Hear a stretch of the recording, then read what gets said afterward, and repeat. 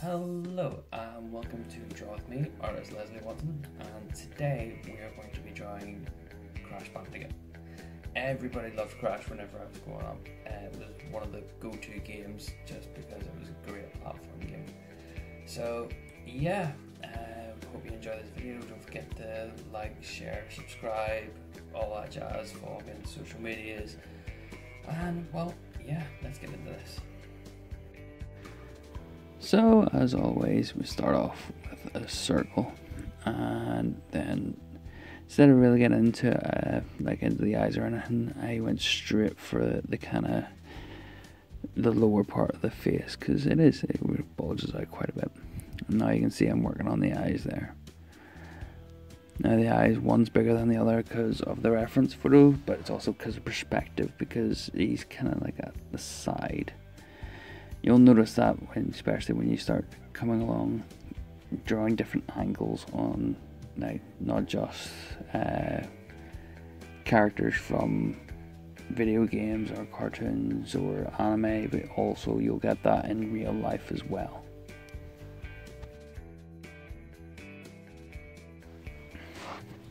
So as you can see, I'm putting in kind of the guidelines for the body and putting in you know the guidelines where the arms and hands are going to be. Again, actually with Crash's fingers, usually I say they look like sausages, which they, they generally do. But they're kind of more rectangular. And yeah, I'm going to put in quite a bit of detail in already. Excuse the video quality of this camera as well uh, today because I don't know what setting it was on for some reason, but it is actually pretty cool. Uh, don't forget to leave me a wee comment in uh, the comment sections whether you like it or not. Uh, now it does change back to like the normal settings uh, once I start hitting into the colouring, but I think just for the pencil work it was actually pretty cool. So don't forget also if you are struggling, pause the video and you know draw away. My hands aren't always in shot, so that's why I like to uh, kind of move my hands away, take a wee kind of a wee break, just so then you can see that.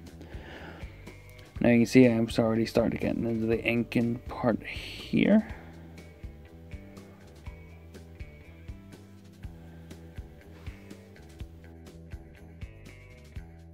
So already you might already notice that I made a wee mistake in the eye there.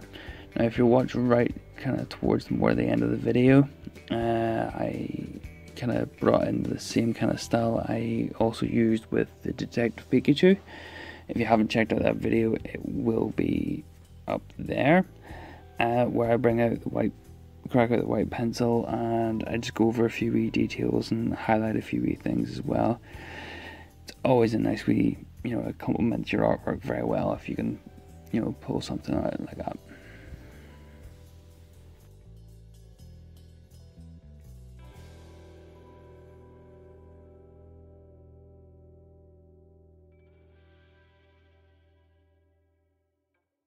Notice also how whenever I was doing the lines for Crash's, kind of, you know, fur and stuff like that, especially around fingers and stuff like that. I actually didn't just do one continuous line. I did lots of little lines, and that just gives them the effect of fur.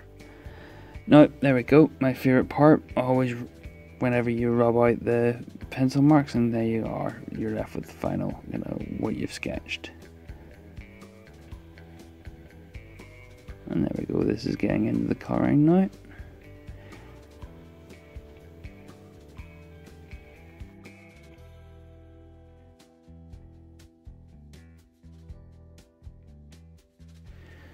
Notice how I'm putting in all the base colours. This is kind of an essential thing uh, whenever you're coming to colouring and inking. Uh, it's simple, it's easier to go from uh, easier to darken down rather than to lighten up.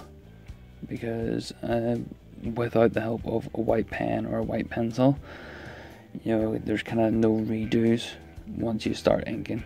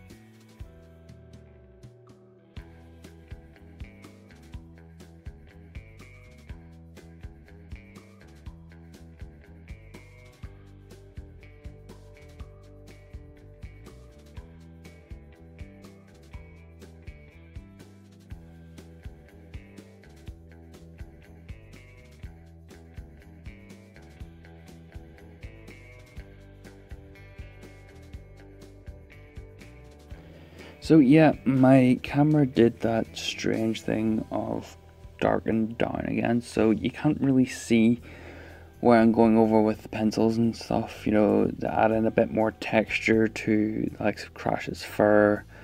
But you do see whenever I crack out the brown and white pencil, the kind of highlights that actually come into it. Uh, so yeah, don't forget uh, the experiment as well. You know, this is always really fun thing to do, whether it be mixed medias. Like I'm put down a layer of markers and then going over it with pencil, which you know it a tried and tested method. It works, uh, but don't be afraid to you know be a bit more experimental if you really want to. You know, with paints, markers, you know, it's just anything that you have lying around. People paint with coffee, you know what I mean. So don't be afraid to experiment.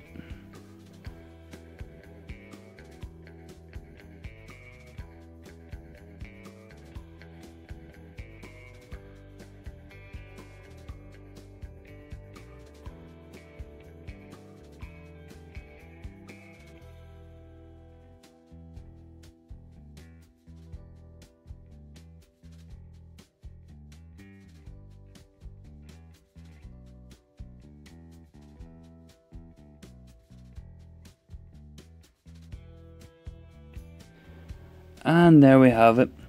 Yeah, I drew a background for this, but I never coloured it. I just thought it would be a nice wee touch to throw in there as well. Um, I'm not big on doing backgrounds, but it was it was just too handy not to do. Anyway, so don't forget to send me what you've been drawn and if you're new to the channel, please like, subscribe, share with all your friends. And I hope you've all enjoyed this as well. Don't forget to hit me up on social media, show me what you have been drawn, and yeah, have fun and stay safe out there, guys.